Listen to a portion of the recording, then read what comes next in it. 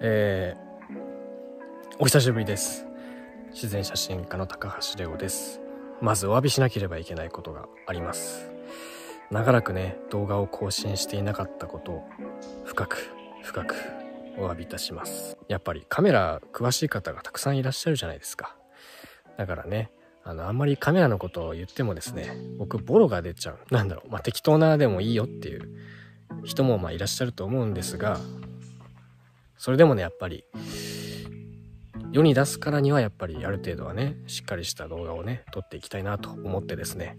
このカメラもですね実はあの新しい iPhone の iPhone14 でね撮影してます。やっぱりねずっとね iPhone X とかね iPhone SE2 とかでね頑張ってきたんですけど全然あの僕の求めるクオリティではなくて、まあ、満足する動画を作るっていうのは僕の中で結構大事なことです。なのでそんなこんなでまた気を取り直してですね。あのまあカメラの動画というよりは、えー、日常の撮影のなんかこうね Vlog 的なものをね撮っていけたらなと思っております。まあ、このカメラをどう活かすかっていうところで、あの、動画をね、使っ、あの、撮っていきたいなと思っております。新しい車はですね、マツダのボンゴという車ですね。ボンゴ。ジモティーで、椅子とダイニングテーブルをもらいまして、はちゃめちゃになってますが、えー、はちゃめちゃになってもなお、えー、いろいろなものが入るというで今日もねここで寝たんですけど1日2日とかね、まあ、3日まあ本当に延泊するのに最適だということでこの車がねやっぱり最高です。来てくれてありがとう。ボンゴ。とりあえずカーテンレールだけはつけましたね。距離が17万キロだっけ。結構ね行ってるんですけどまだまだ走れるだろうということでまあ一種の賭けかもしれませんねこれは。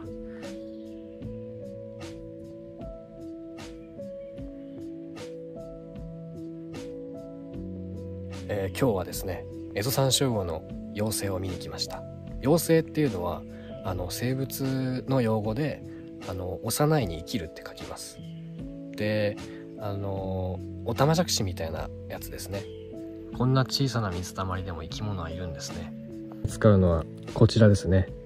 えー、通称キングギドラと言われるマクロツインライト。ストロボですね。大きさはこんな感じ。もうねカメラより大きいんですよね。まあでもこれだけ自由な稼働ができるストロボは珍しいので僕は結構重宝してます。もうねあのストロボの電池の蓋が取れちゃうっていうね。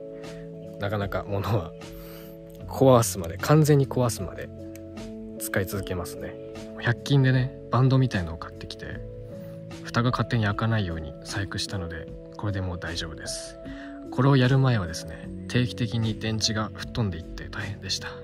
正直ね光の状況はあんまり良くなくてあのー、暗いのでストロボは必要ですね。でまあこのカメラの特徴なんですけどオリンパスなんでまあ防水ではないんだけどこのレンズはね。でも正直先っちょだけなら大丈夫です。僕は普段ですねこの 30mmF3.5 マクロレンズとあの蚊がえー、広角レンズですね、えー、14から42の、えー、標準ズームレンズに、えー、広角のコンバーターみたいなのをつけて使ってます。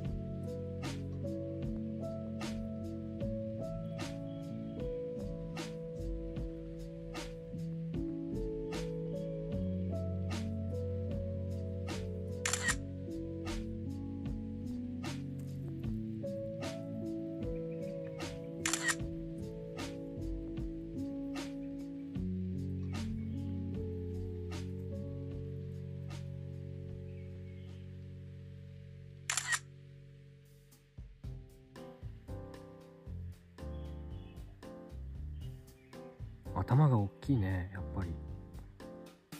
こんな感じでねあの普段写真撮影してます、えー、この動画が面白いと思ってもらえたらですね是非あのチャンネル登録と高評価の方よろしくお願いします。普段はねあの一人で撮影してることが多いんですがいろんな方がねあの助けてくれてまあ僕のこの活動っていうのは本当に成り立っていますので、まあ、いつもありがとうございます。